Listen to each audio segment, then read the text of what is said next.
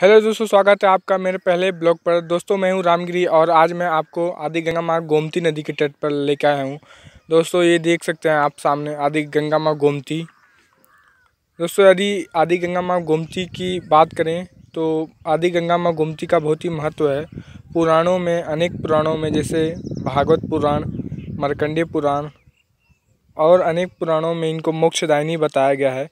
इनको आदि गंगा गोमती कहा जाता है। जी हाँ दोस्तों, ऐसा कहा जाता है कि ये गंगा नदी के आने के पहले इनका अस्तित्व था और अनेक पुराणों में इन, इनको भगवान श्री रामचंद्र जी के कुल गुरु वस, महर्षि ऋषि वशिष्ठ की पुत्री के रूप में भी बताया गया है।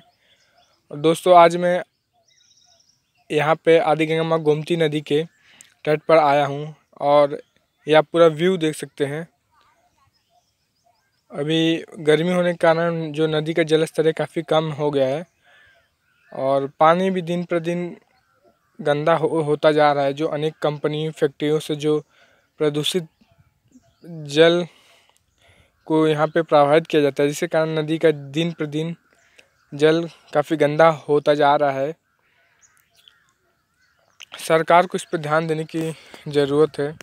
आप देख सकते हैं। अब दूर तक नदी में जो जल खुमियाँ हैं, अनेक खर हैं, वो आप देख सकते हैं, घाटों पर लगे हैं।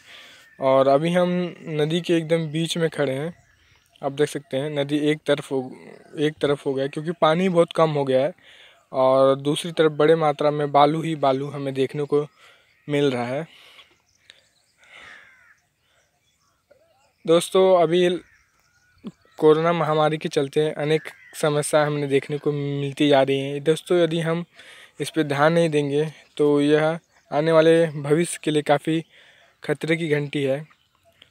लेकिन दोस्तों, देख सकते हैं आप, इसके तटों पर, बड़े पैमाने पर पर्यावरण पोषित लोगों ने, पर्यावरण की रक्षा करने वाले लोगों ने बड़े पैमाने पर यहाँ पे वृक्षों का तटों पर लगाया है, जिसके कारण काफ़ी बड़ी मात्रा में हमें ऑक्सीजन और फल लकड़ियाँ, अनेक औषधियाँ हमें वृक्षों से प्राप्त होती हैं।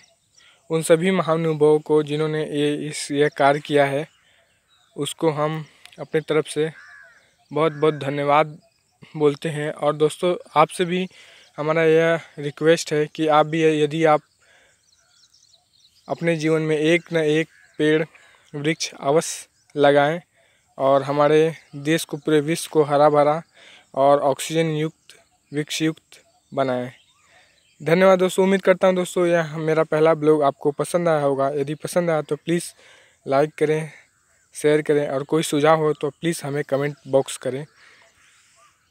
धन्यवाद दोस्तों, जय हिंद, जय भारत।